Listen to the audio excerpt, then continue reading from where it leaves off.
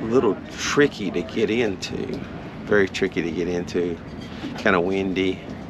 And um, you can actually drag in this anchorage. So the sailing is rough.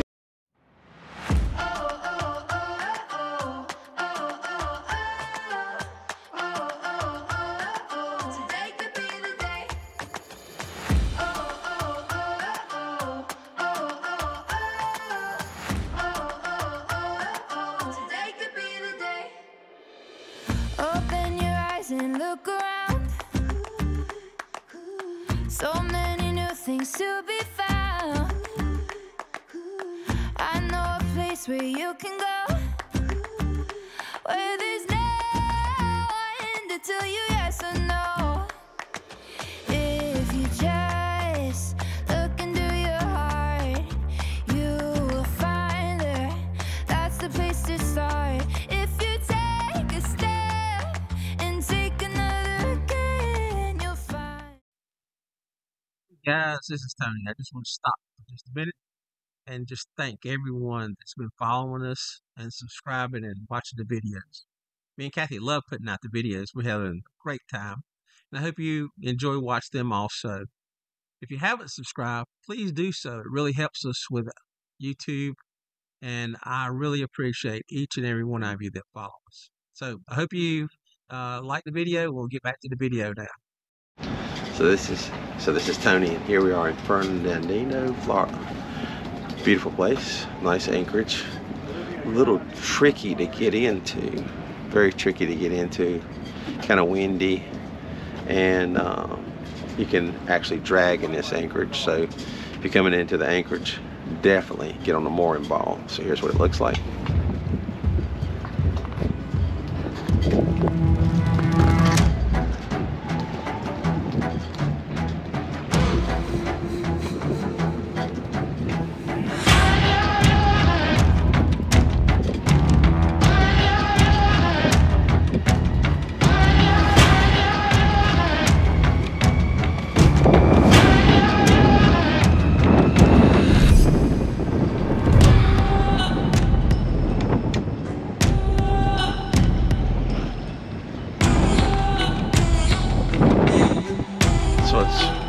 Windy here, kind of a channel where the wind just really rips through, and also the current is uh, fairly swift.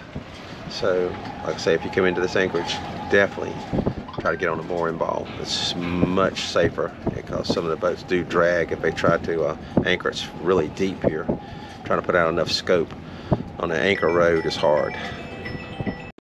So Nancy, what do you think about the sewing machine? Do you think we're getting closer to getting it fixed? I think we're getting closer. Like I just did some stitches and they turned out quite lovely, back like it used to be. So I'm real excited. Awesome. Now we're gonna try something a little thicker and see if it's gonna hold up. Yeah, so we've been working on the tensioner right here.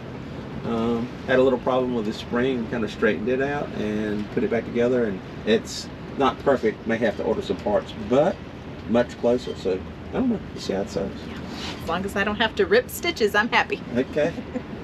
Here we go.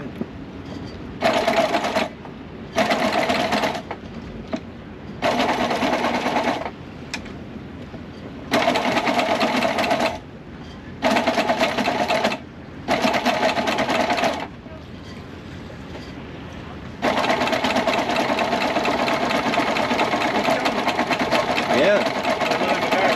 Oh, are you recording? Yeah. Look, Matt. Is it, oh, She's that's good. sewing. That looks good. Yeah. Smooth? I don't think we're perfect, but we're getting Better. better. Nice. Much Yes. better. I'm not screaming. Yes. I'm not crying. I have a filter question. Yeah, she's sewing. Congratulations on uh, repairing there. Well, we're better than we were, I think. Not completely fixed, but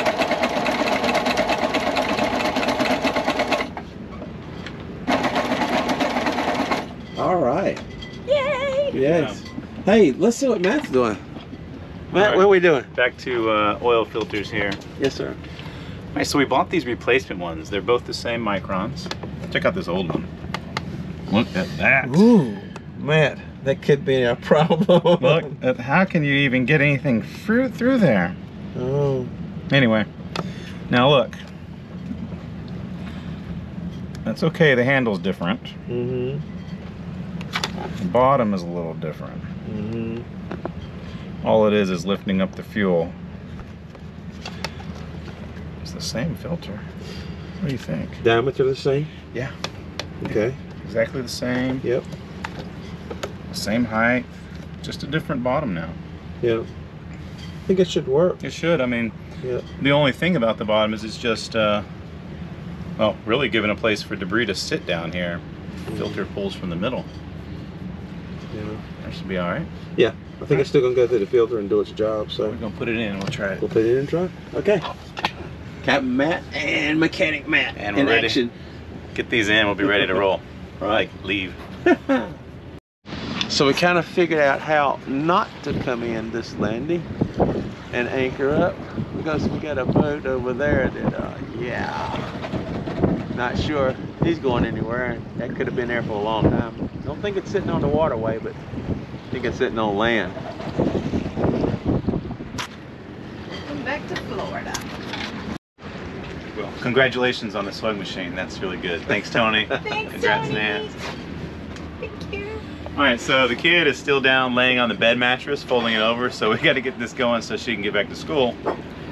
But let's see if this works. Moment of truth. So what are we doing, Matt? I'll explain a little bit more. Yeah. What have you done so far? So you've seen the fuel filter change. Showed you that down below. I just added five gallons to the tank. Now we're going to turn over the engine and make sure that uh, make sure it works. I'm anticipating a little stall. There's going to be some air in the fuel line, and I'm also anticipating it's going to it's going to run right through it. Here we go.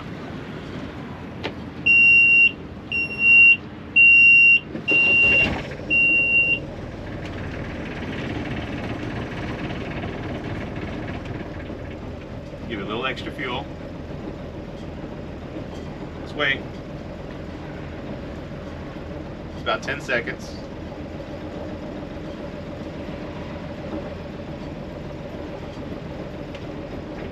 Twenty seconds. I think we're good. yes, Oh. man. Sounds funny. Sounds funny. What, what do you mean it sounds funny? Sounds funny down there.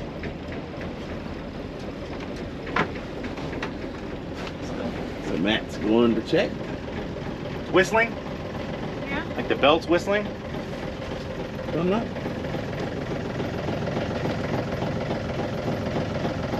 Hear that squeak? I've never heard that squeak before. Here, little bird. Maybe there's a bird stuck in there. Yeah, we can check the belts. Did you back open the fuel tanks open? Fuel tank's open. The, the, the valve is open. We would have died by now. It would have died. Fuel's good. Yeah. Now we got a squeaky belt. We'll fix that too. All right.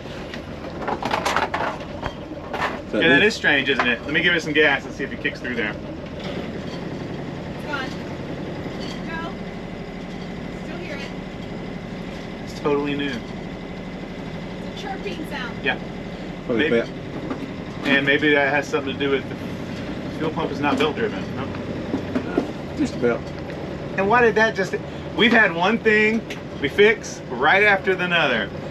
The LED fire last night, the boat drifting into us, the sewing machine, the fuel, and now we got belts. So, to uh, really tell how this is all working, when Matt invited me aboard, he says, I'm going to give you the experience of your lifetime. you will have multiple tasks before we quit just to see, yeah, make sure you really know what you're doing on this sailing thing. So, thank you, Matt. I think, uh, yeah, you can probably slow down on those now. Yeah. I think uh, on, the Cadence. test. You can slow down, Cadence. the test is on. So, all right. Good job, Matt. So, Nancy, do you have any tips for me today when I do buy my sailboat? Yes, I do. If you buy a sailboat and it has a mattress in it, and you might have cooler weather, the underneath the mattress or underneath the cushions, it'll start to like sweat.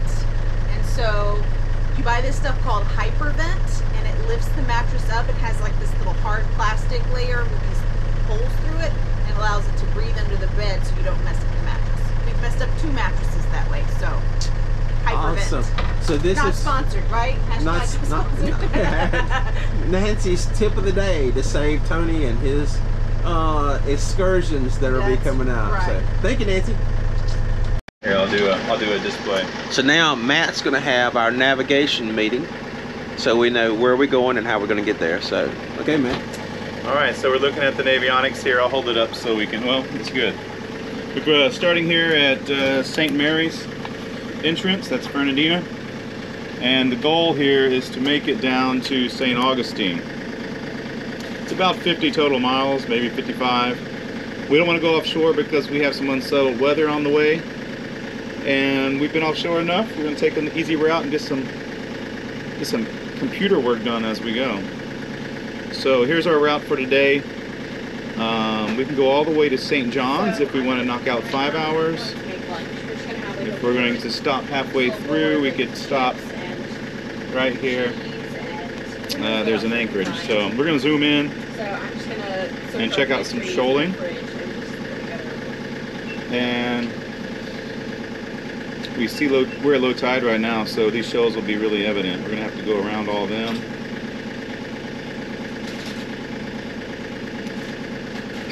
Too close for that anchorage. That's about 20 minutes away.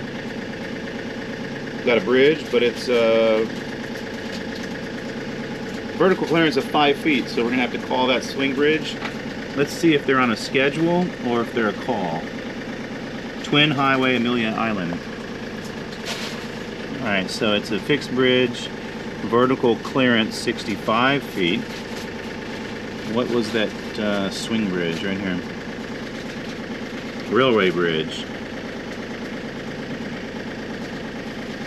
Pivot swing bridge, normally open, so it should be open. All right, so we're just gonna get there and see if it's open or not. If it's closed, they're not gonna open it because there's a train coming. So we're good with that. Now I can click on any one of these waypoints and it will tell me how far it is. So here we can see to waypoint 10 we got four nautical miles, which is less than an hour. So even though there's anchorage here, we're gonna keep trucking. Here's a good anchorage back here. All right, so we could uh, come down the river and around this shoaling and we'll have a anchorage opportunity. That's waypoint 19, six nautical miles. That's still only an hour away. Let's go further. Past the Nassau Sound. Here's an anchorage opportunity. There we go. There's room for one.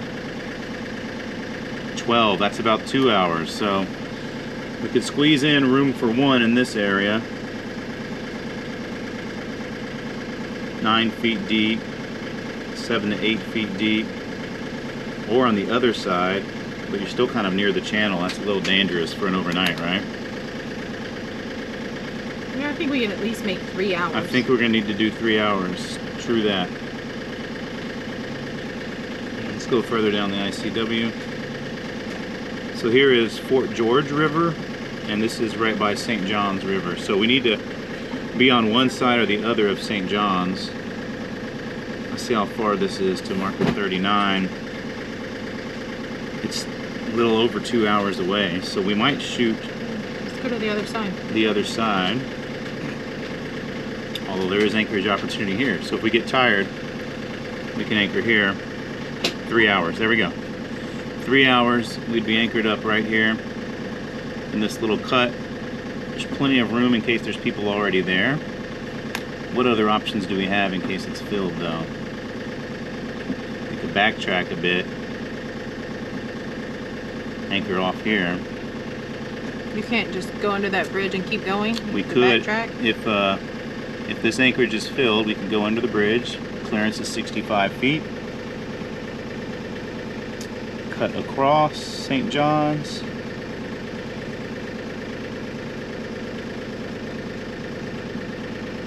And what's on the other side? Anchorage opportunity there. Yeah. So I think today's destination is St. John's River, three hours. Shouldn't be bad. Be there before dark before second lunch. Then we can have first dinner. and then when the sun sets, we'll have second dinner. Good? Yeah, across the journey on three. So here's the crew. time. We are excellent. Oh, sorry, I moved too quick. I moved. So, thank you, Matt, for the overview, so we know what we're doing. So, Matt's really good about planning ahead and letting us know everything where we are going to encounter and supposed to do, so that the crew is not surprised and everybody's on board. Makes a good team. So, all right. What a great bunch. Let's get out of here. Let's get out of here. We should have a smooth, safe sail down the ICW from Fernandina Beach anchorage down to the St. John River anchorage. It's about 27 miles and the weather's calm. Quite a spread, did Yep. It's delicious. Way to go, Yes. Libby. This sailing is rough. This is so tough. Tough life. I'm telling you. It's tough. Good bunch. Red marker. Yeah, yeah, I wouldn't go to the red. Go ahead and cut It it. looks like it's 20 feet right here, straight shot. Okay. Is that what you see? Yeah. Where are we going, Captain Nancy? I don't know. All right. awesome day. no, we're heading toward St. Augustine and we're going to anchor tonight in the St. John's River. I know where we're going. So no schedule, right, man? Not really, just taking it easy next few days. Get there when we get there. But then we get there, the wind's helping us. We're gonna jibe here in a second, right? Yes, Okay. I'll do the next jive, and then Tony can have the one after that. All right. Oh yeah, and look, shorts. Woo! Yeah, Warm weather. wintertime legs. Look at this, warm weather. Wow. It's been nice. Good.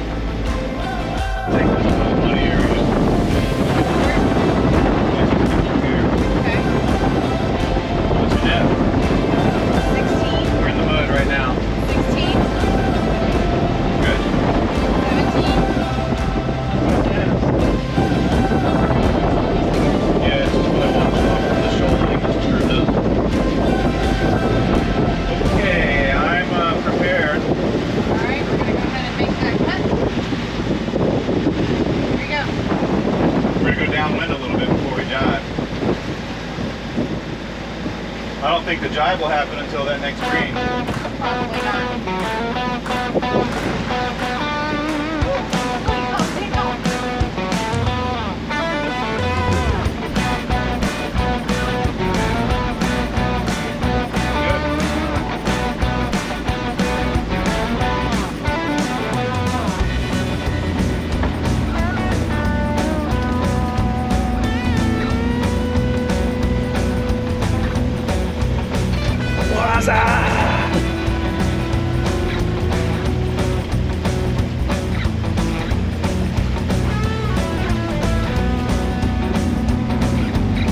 Marco, are you ready to jab?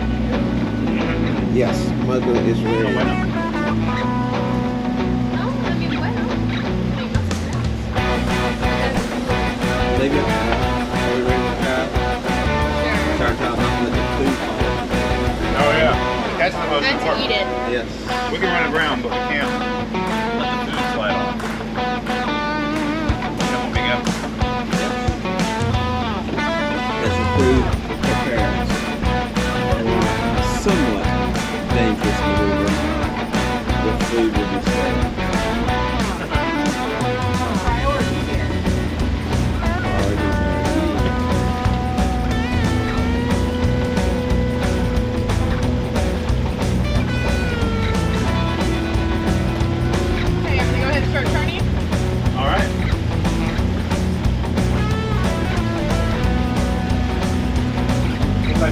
like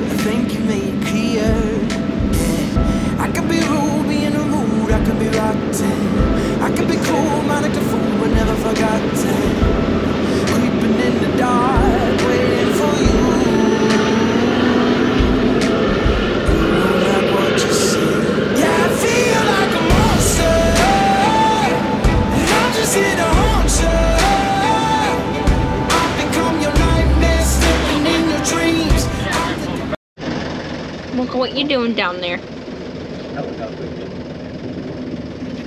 She just loves to be in your jacket. She's sleepy.